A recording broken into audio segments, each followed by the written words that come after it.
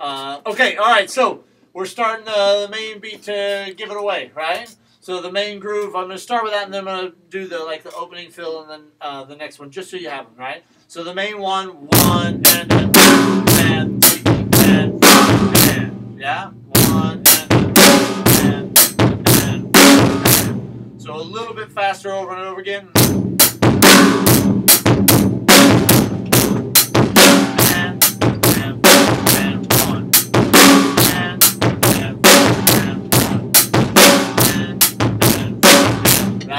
And so then you have this uh, first fill is a 4 EN.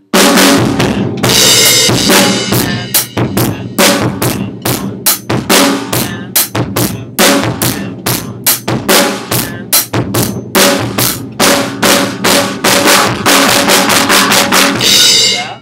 All right. So we'll work on that second fill in here, but I thought you'd have it, right? So we just get that opening fill and that main beat going.